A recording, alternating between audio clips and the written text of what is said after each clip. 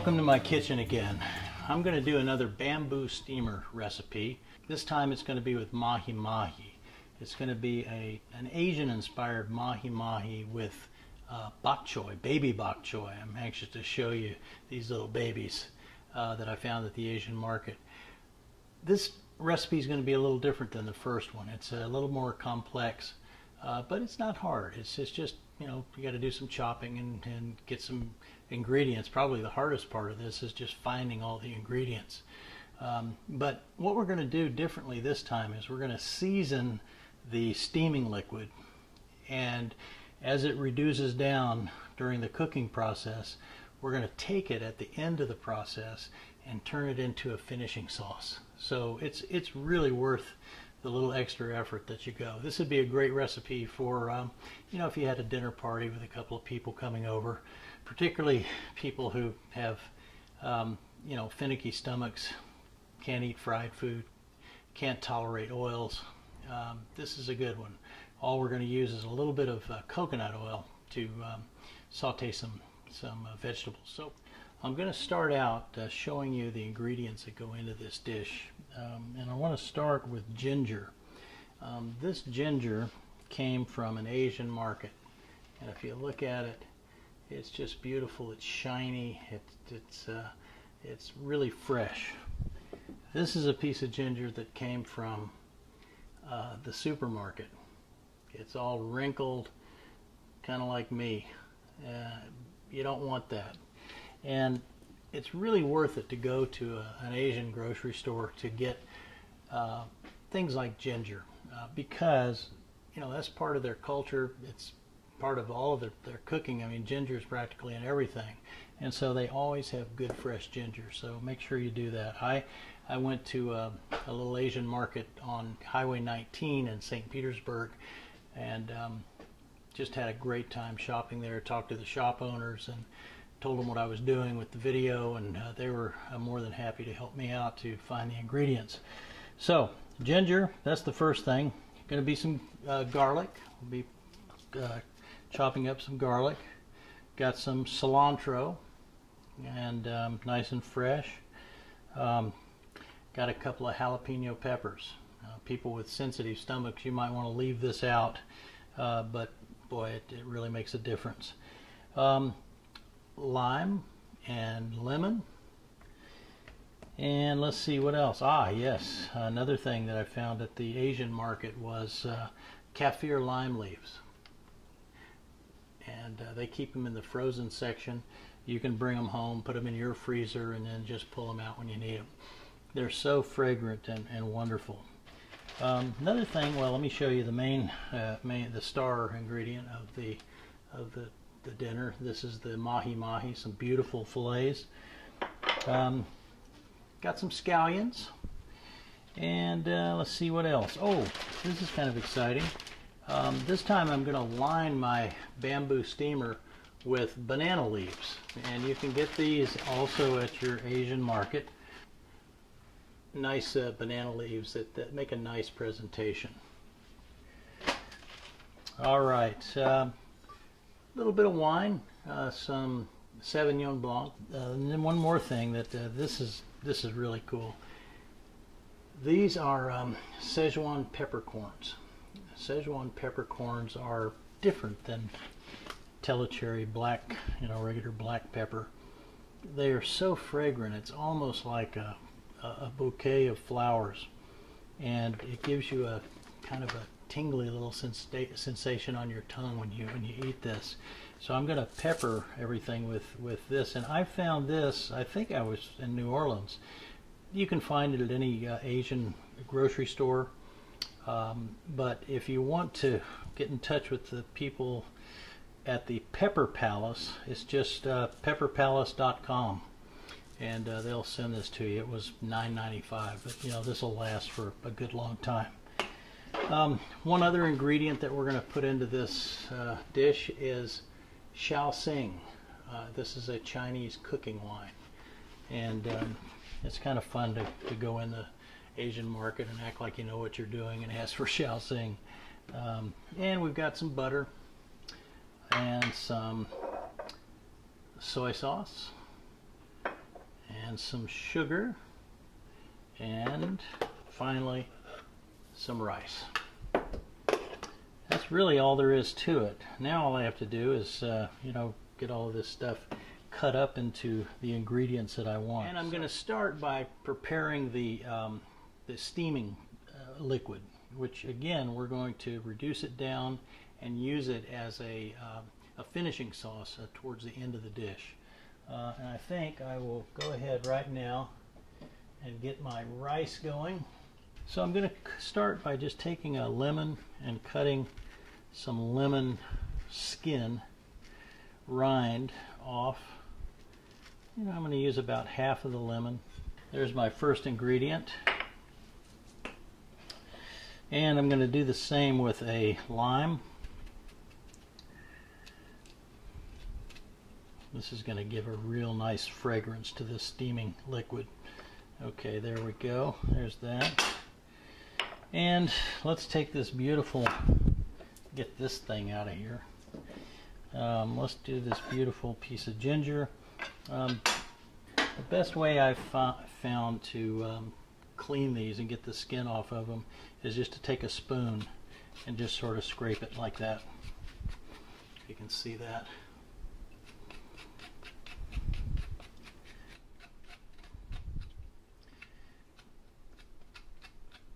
Okay, there we go. That's all ready to go. And I'm going to take this piece of ginger now and I'm going to slice it up.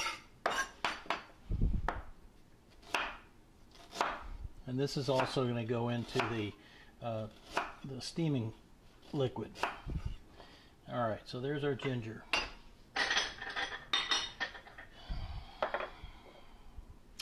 Let's take a jalapeno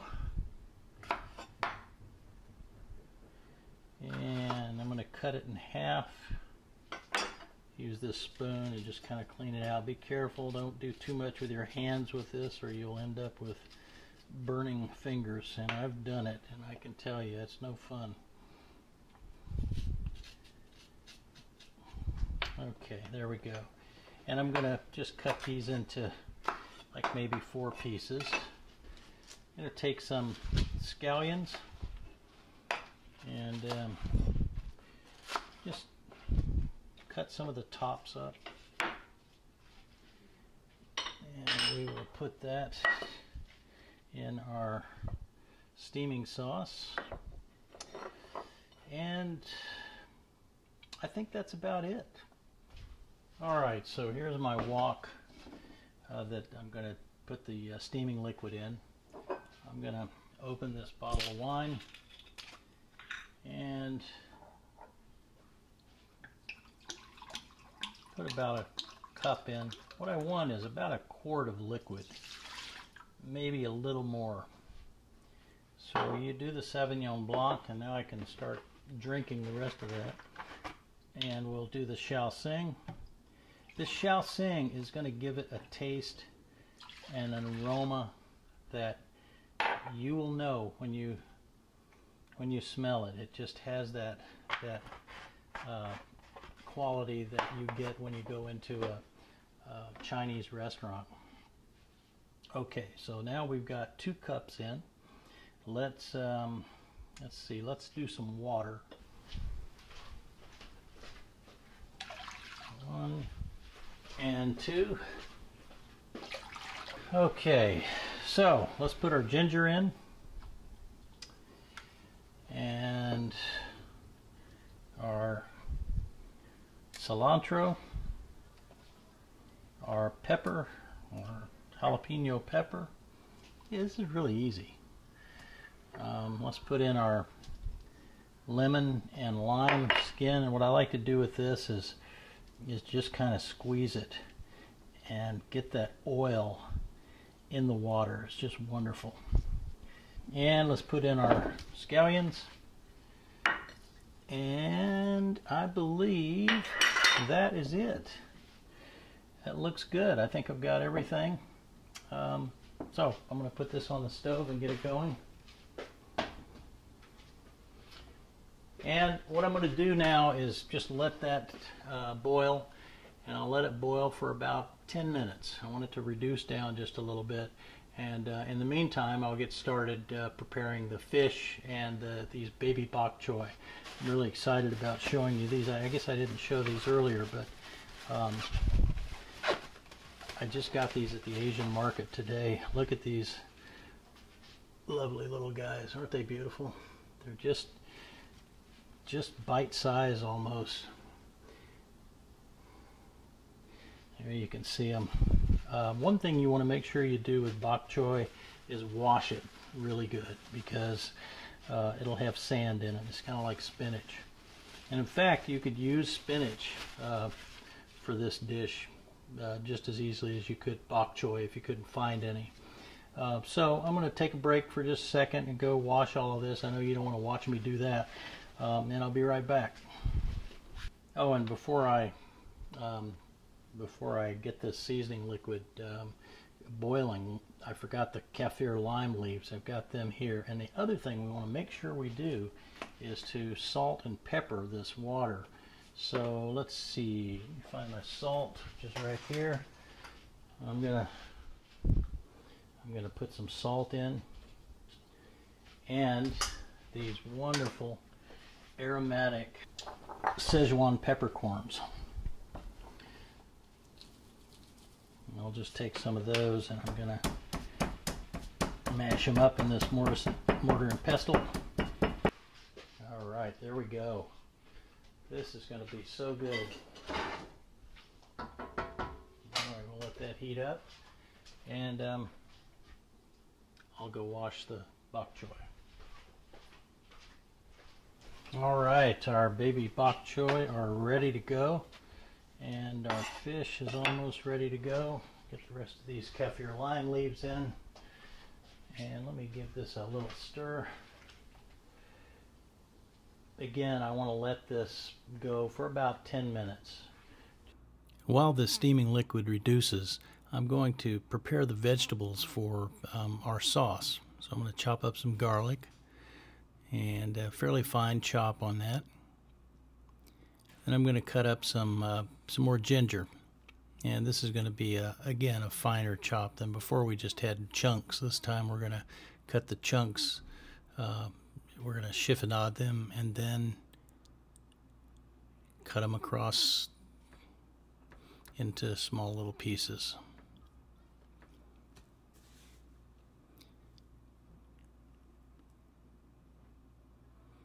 I'm going to prepare some soy sauce, about a quarter of a cup,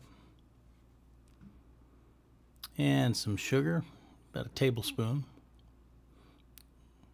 and one more jalapeno pepper that we're again going to cut into a, a fairly small chop.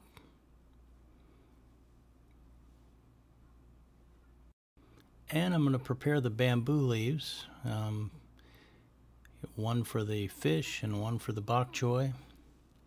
So let's start cooking. All right, so I'm, I'm now salting the fillets. The cooking liquid is going, boiling away there. It's ready to go. I'm going to put the, um, the lid on and let that go for about a minute. And then I'm going to add the um, uh, the bok choy into the top layer of the bamboo steamer. So hang tough. Meanwhile, I'm going to cut up some some more scallions.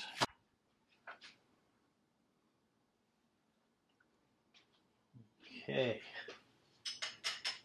And that's been going for about a minute, so I'm going to lift the top off now. Put another banana leaf in the top part of the steamer and put these beautiful little bok choy, baby bok choy, in the top here.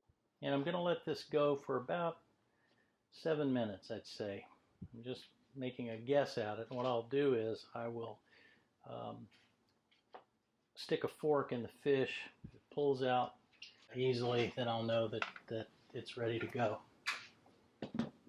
I'm going to lightly pepper these fillets with some of that wonderful Szechuan peppercorn uh, that I've mashed up. So it's time to relax and drink a little bit of wine. All right, I've sort of tidied up here while I've been waiting for the fish to cook. I'm going to give it a little test now, stick a fork in it, and let's see how it feels. Watch out when you do this, you can really burn yourself. Oh boy, that feels just fantastic. I think that's ready to go. All right, so here's what we're going to do next. We're going to heat up this uh, little saute pan, which has some pepper in it there. And I'm going to take some coconut oil.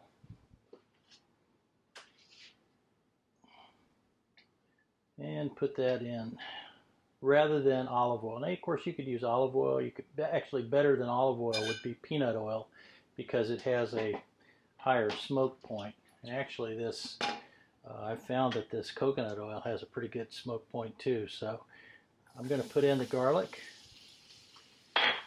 and the ginger. Oh, does that smell great? And the jalapeno peppers. Now I'm going to keep moving them around and be careful. I want to turn it down just a little bit. I don't want this to burn. I don't want to burn any of these uh, vegetables that are in here. I'm going to let this go just until the garlic becomes sort of translucent. Oh, it smells so good. And that coconut oil is great. It smells like you're on the beach drinking pina coladas or something. Next, I'm going to put in the the steaming liquid. I'm going to put about four ounces in, and I'm just going to estimate that.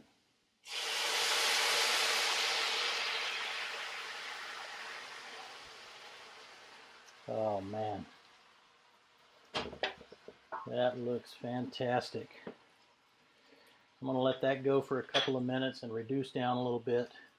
Then I'm going to put in some soy sauce and some sugar and these scallions and we are good to go. I think the rice is ready over there. Um, I think I think we're just about there. Oh, that's looking unctuous. Put in the soy sauce.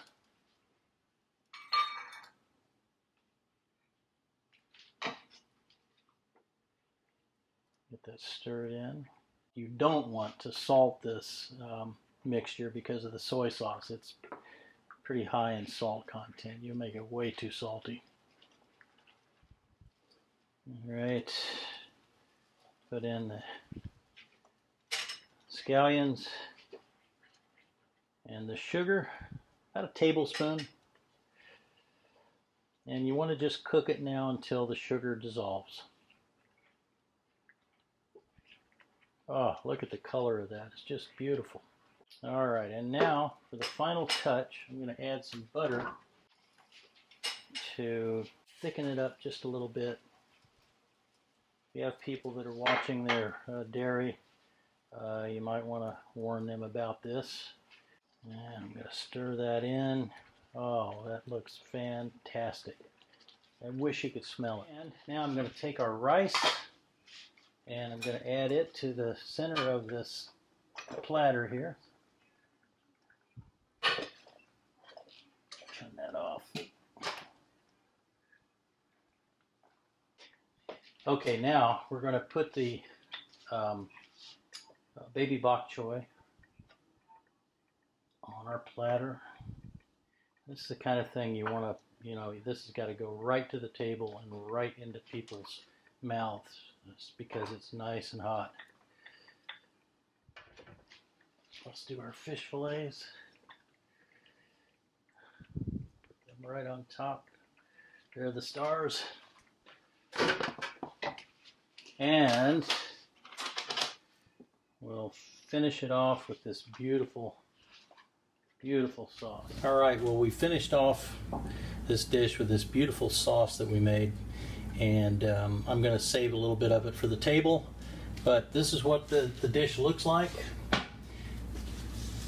Right little mound of rice, some baby bok choy, and then our fish on top, our sauce on top of that, and then some lemons and limes around for um, for everyone to, to use with their fish. So well, that's it.